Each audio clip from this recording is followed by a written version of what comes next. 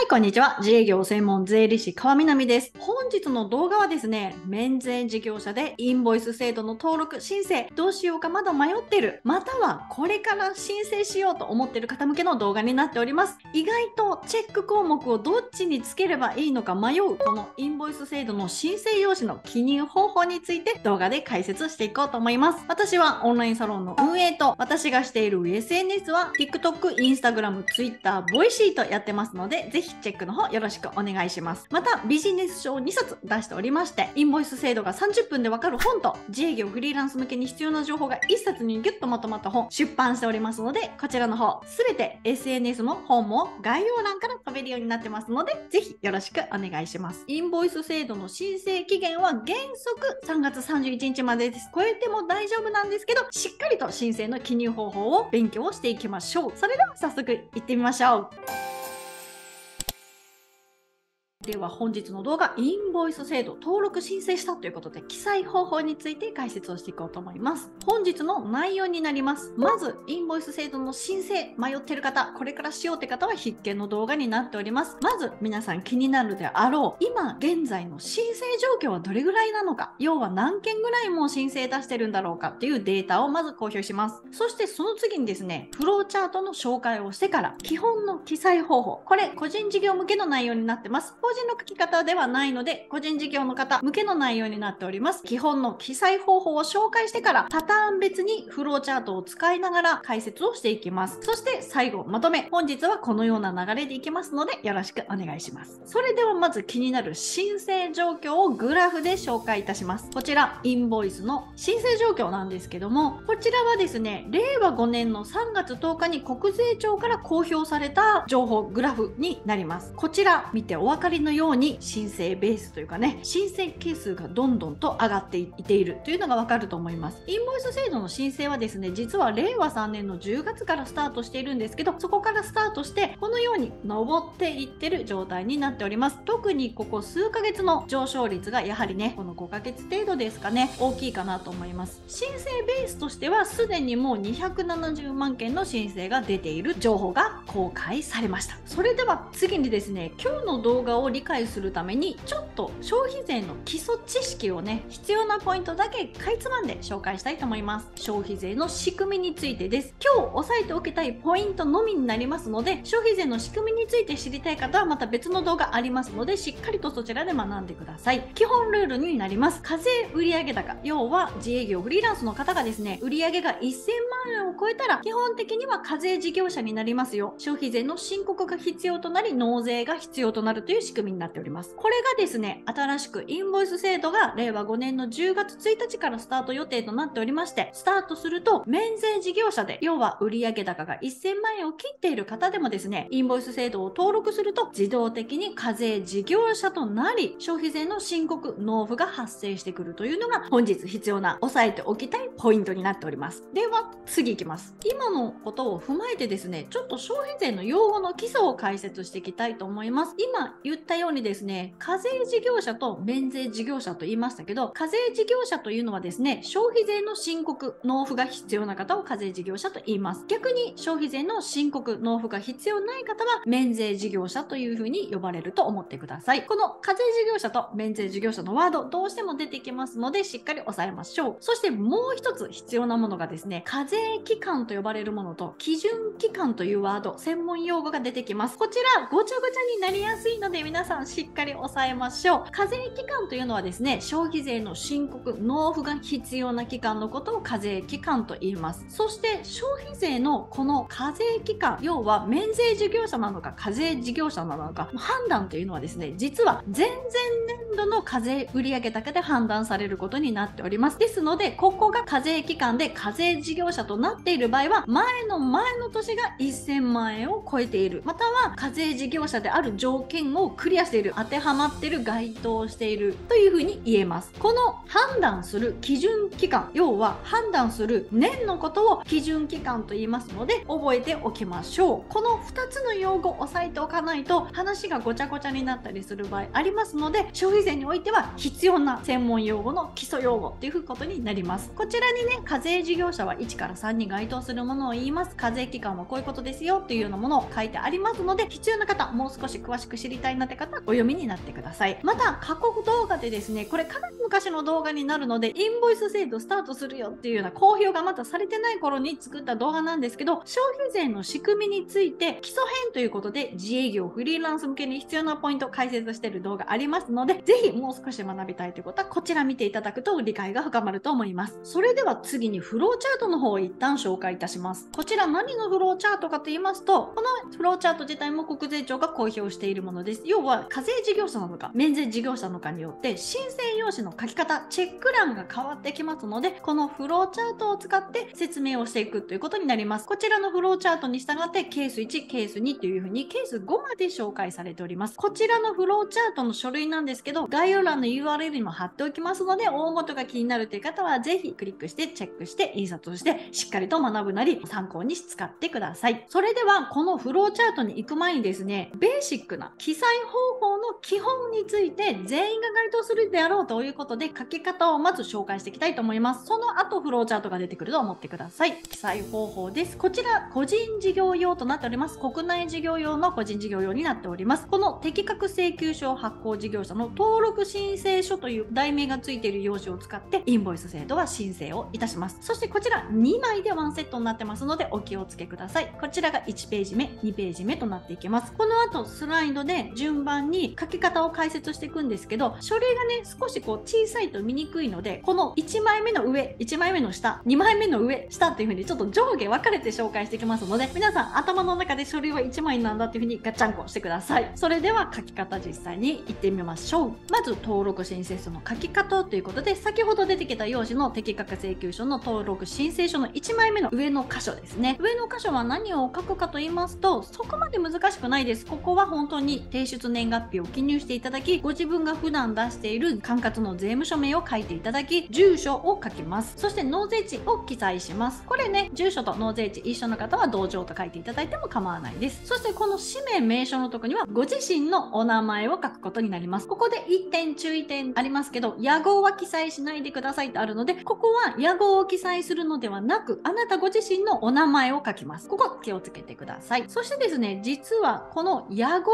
を公表したい。要はこのインボイス制度の12桁の番号があるかないかを公表しているホームページがあってそこで皆さん検索をされるんですけどそこにですね載ってくるのは番号とお名前が公表されるのが基本となると思っておいてください。ですのでもしですね屋号を載せたいという場合はここにあるように適格請求書発行事業者の公表事項の申し出書というのを出さないといけなくなりますのでお気をつけください。要は今今日紹介している2枚プラスもう1枚書類が必要ですよということです。ここちらどうして屋号を載せるのかと言いますと例えばですね番号で検索するのでその方しかいないんですけどよくあるお名前の方とかね田中さんとか佐藤さんだと本当にこの方で合ってるかなって調べる側がちょっと不安になりますのでそれプラス屋号があると親切ですよということです。もちろん強制事項ではないのでなしで登録するというのもありです。でこれは私はですね屋号の方だけは公表するということで申し出書を出しております。これはどういう風に載るかと言いますと私の番号と川南恵美というのが載ります。それプラス屋号が載ってくるというのはどういうことかと言いますと川南恵美税理士事務所という屋号が公表されるということです。これで私のお客さんの方が調べた時にあ先生のだなっていう風に分かるということで屋号はね載せるかどうか自由ですけど載せると親切かなっていう風に思います。そしてその他事務所の所在地や通称や旧姓を公表したい方もこちらの公表の申請公表申し出書に記入をすると公表することができますのでそちら必要な方はまた考えておいてください。今回はないということでベーシックな方を紹介します。ですのでこちらには名前を記載して屋号は記載しないようご注意ください。それでは用紙の下の部分次のスライドで解説していきます。こちらが先ほど見た1枚目の用紙の下の部分になりますこちらにチェック項目があります他のところはですね説明とですねほとんどの方記載する必要がないですのでスルーして大丈夫ですこの事業者区分というところにいずれか必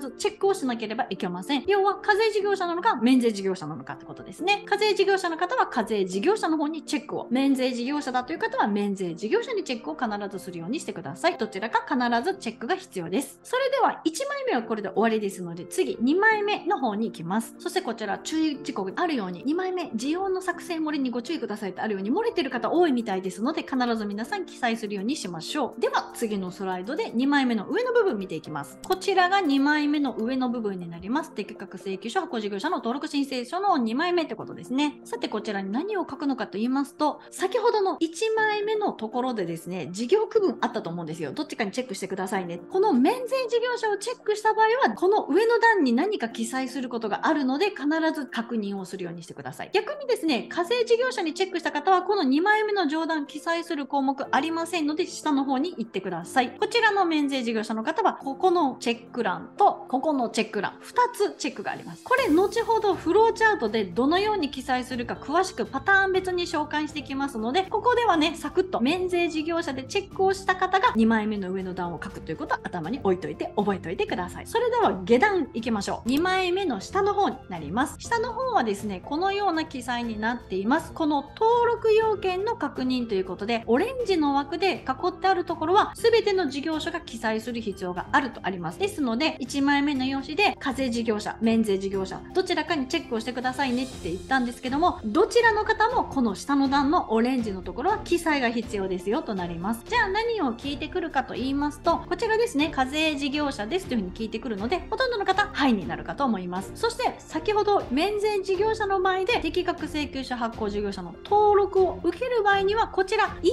えではなく、はいの方にチェックしますので、ここ間違いやすいポイントですので、お気をつけください。そして、その他下、2つ質問が来ます。納税管理人を定める必要のない事業者ですか？はいかいいえっていうふうに聞いてきます。ほとんどの方、はいになるかと思います。もし、いいえにチェックをした方は、その下の質問に答えてください。ほとんどの方、はいですので、こちらの下の質問は答えなくて大丈夫です。次、聞いてくるのはですね、消費税法に違反して罰金以上の件に課せられたことがありますかどうですかっていうようなことを聞いてきます。ありませんになりますので、ない方は、はいにチェックをしてください。そして、いいえに打った方はですね、罰金以上の刑に消せられたことがあるということになりますので、その下のはいかいいえにチェック項目を入れてください。ほとんどの方、はいになると思いますので、こちらはね、あまり深く考えずにスルーしていただいて大丈夫かなと思います。基本的なね、書き方というのは動画で解説をさせていただきますました。じゃあ次ですね、パターン別です。この2枚目のページの上の段のところをパターン別で紹介していきたいと思います。こちらまた再びフローチャートに戻ってきました。こちらのパターンによって分かれてくるってことです。まずですね、現在課税事業者の方、要はですね、もうすでに通常消費税の申告をしており、納付もずっとしてきているっていう課税事業者の方はこちらになります。ケース1と2と分かれてるんですけど、こちらほとんど一緒ですので、1と2と一緒にまとめて紹介します。そして今回ケース3なんですけど、ちょっとイレギュラーな方になりますので、紹介は省きます。残りの方、おそらくこのケース4とケース5に該当してくると思いますので、このケース4とケース5について解説をします。まず、ケース1と2の場合を見ていこうと思います。現在、課税事業者ですかということで、イエスですね。次の課税も課税事業ですかはい、そうです。基本的にケース1とケース2はですね、課税事業者ですって傾きになりますので、こちらのケースの方はどのように先ほどの書類をチェックすればいいのかについて解説をしていきます。こちらになります。もうすでに課税事業者ですという方はですね、こちらの課税事業者、これ先ほど言った1枚目の方に課税事業者というふうにチェックをしていただいて、こちらの上の2枚目の上段の免税事業者の確認欄のとこには記載不要で大丈夫です。というふうにシンプルなものになるかと思います。そして登録結果を少し解説するんですけど、もうすでに課税事業者で普段から消費税の申告が必要って方は特に変わりなくインボイス制度の登録すると番号がもらえるということで、令和5年の10月1日のスタート日が登録日となり、令令和5年の1月1日以降の取引について消費税の申告が必要になるということになります。そしてですね、今回インボイス制度を登録することで課税事業者になるって方いらっしゃると思うんですよ。要は本来だったら免税事業者なんだけども、今回のインボイス制度がスタートするから、令和5年はインボイス制度の申請を出して消費税の申告、納税が発生するって方はですね、登録結果として記載方法は同じなんですけど、課税事業者になる日はですね、令和5年の10月の1日から消費税の申告が必要となるというケースになります。要はですね、10、11、12の3ヶ月分だけ消費税の計算をして申告をするということになります。登録の年月日はケース1もケース2も同じで、10月の1日インボイス制度がスタートするとこから登録がスタートするというふうに同じ結果となります。それでは次、パターン3はちょっとね、飛ばしまして、パターン4とパターン5について解説をしていきます。まず、一旦フローチャートにもう一回戻ります。こちらもう一度フローチャートを見てください。フローチャートによるとですね、こちらのケース4、ケース5の方はですね、基本的に免税事業者の方がこちらのケースに該当するというふうに思ってください。令和4年も令和5年も免税事業者で登録をするっていう方はどのようにチェックをするかってとこですね。おそらく動画を見てる方はですね、このパターンの方が多いのではないでしょうか。こちら、まずケース4のとこです。令和4年、令和5年が免税事業者で、令和5年の10月1日から登録を受ける方のかけ方になります。こちら、1枚目の用紙の方はですね、課税事業者か免税事業者と言いますと、令和4年、令和5年、免税事業者になりますので、免税事業者の方にチェックを打ちます。そして2枚目の方のこちらのページの上段は記載項目が出てきます。何を書くかというと、この一番上のチェック項目にチェックを打っていただいて、個人番号を記載します。そしてこちら、ご自分の生年月日を書くことになります。法人の方はこちらに書く欄がありますので、こちらにご記入ください。今回は自営業の方メインで説明をしております。生年月日を書いていただいて、事業内容、要は何々業というようなことを書いていただいて、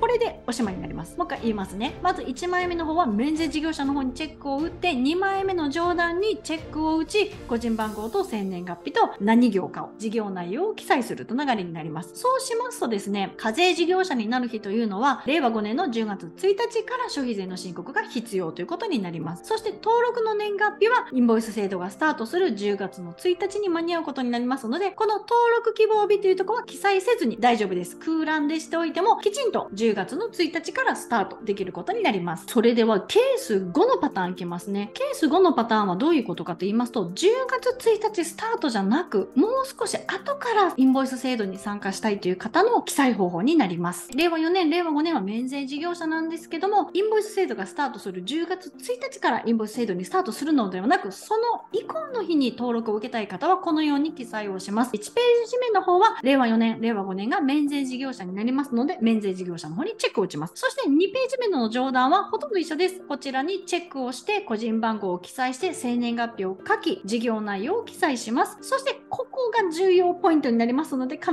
ず記入してください。登録希望日っていうのを書く欄がありますので、10月の1日じゃない日からインボイス制度をスタートしたい方は、こちらに登録希望日を必ず記入するようにしてください。漏れていますと10月1日となってしまいますので、記載漏れがないように押さえてください。そして、課税事業者になる日はですね、登録された日からになります。そして、登録の年月日はこちらの登録希望日、要は登録された日から登録された日となります。この5のパターンの方はですね、おそらく令和5年の10月からはインボイス制度すぐにスタートしなくていいんだけど、例えば、キリのいい令和6年の1月1日からインボイス制度にスタートしたいという方とか、10月1日じゃなくていいんだけど、12月からスタートしたいとか、10月はいいんだけども、11月からスタートしたいっていう風に、ご自分でスタート期間をを選びたいっていう理由がある方はですね、このように登録希望日をきちんと記載して申請をするようにしてください。実務上ね、どういったパターンが出てくるかっていうのはわからないですけど、おそらく多いではないかなと予測できるのはですね、やはり令和5年の10月から12月分はインボイス制度は登録せず、令和6年からスタートすればいいよっていうような取引先と話がまとまったとかですね、特にインボイス制度の登録は必要ないんだけども、どちらにしても令和6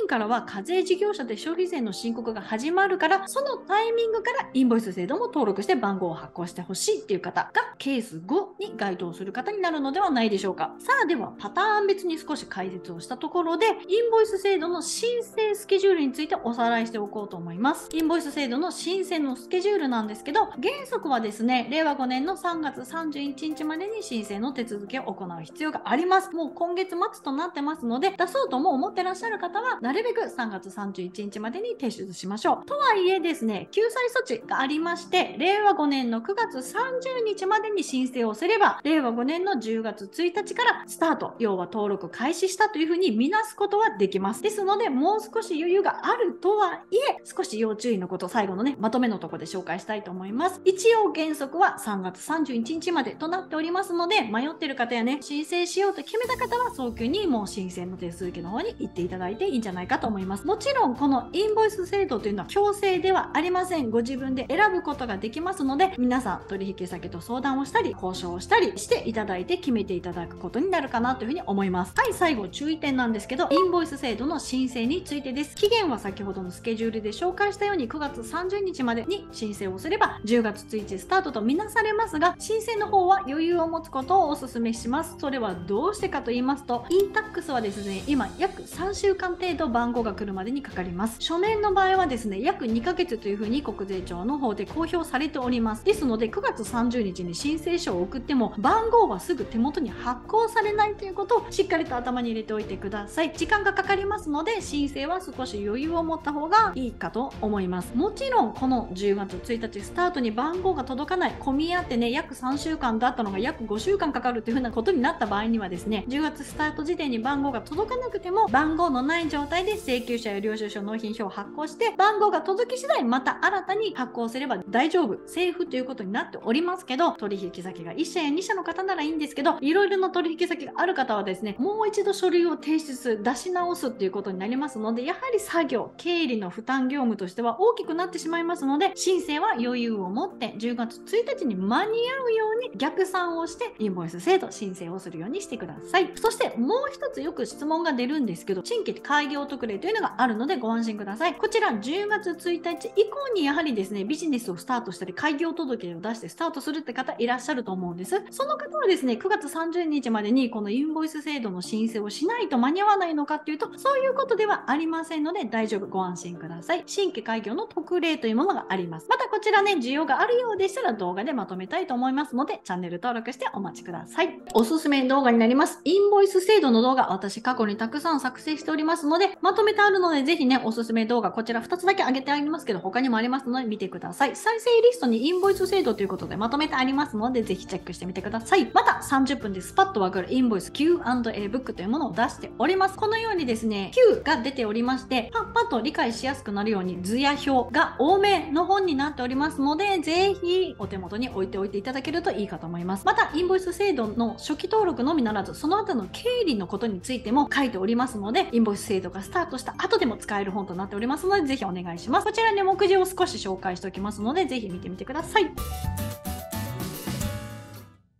私はオンラインサロンの運営をしております。メリットが3つあります。1つ目のメリットは、オンライン上で税理士を味方につけることができるので、オンライン上で質問や相談をいつでもすることが可能になります。こちら、Facebook の非公開グループで運営をしております。メリット2つ目、サロンズームを定期的に開催しております。こちら2ヶ月に一遍やっております。ズーム上で私に直接質問や相談することもできますし、その他ビジネスをされている方ばかりメンバーにいらっしゃいますので、情報交換ができるということで非常に好評です。3つ目、税理士の裏側を公開しています。経理や税金の新しい情報ビジネスの裏側 YouTube や SNS の裏側などなどオンラインサロンのみだけに投げている情報ばかりですのでぜひオンラインサロン気になる方は参加の方ご検討ください。これからも自営業フリーランス向けに役に立つ情報動画投げておきますのでチャンネル登録の方ぜひよろしくお願いします。いいねコメントいただけると励みになりますのでお願いします。また私がしている他の SNS Instagram Twitter TikTok Voicy ありますのでまたねちょっと発信してる情報が違ったりしますのでチェックの方お願いします。概要欄から全て飛べるようになっております。また、先ほどから紹介している私が出版している2冊のビジネス本、インボイス Q& ベックと、経理節税 Q&A の方、こちら、経理、税金、確定申告、節税がフリーランス、自営業向けに必要な内容が1冊にギュッとまとまった本になってますので、ぜひ合わせてよろしくお願いします。本日の動画以上になります。いつも最後まで見ていただきありがとうございます。インボイス制度、やはり免税事業者の方、まだ申請するか迷ってるって方いらっしゃるんじゃないかなということで、申請状況としてはね先ほどグラフで見たようにどんどん上がってはきているんですけどこれからまだね申請するっていう方駆け込みの方がいるんじゃないかなということで申請用紙の記載方法動画にさせていただきました。お役に立てば幸いです。こちらの方を見ながら申請用紙記入してみましょう。ただどうしてもわからないという方はですね税務署の窓口に行って一緒に書くという方法ありますのでそういう方法を選択するのもいいんじゃないかなというふうに思います。それでは本日の動画以上になります。いつも最後まで見ていただきありがとうございます自営業専門税理士川南でしたまたの動画でお会いしましょう。それではまた。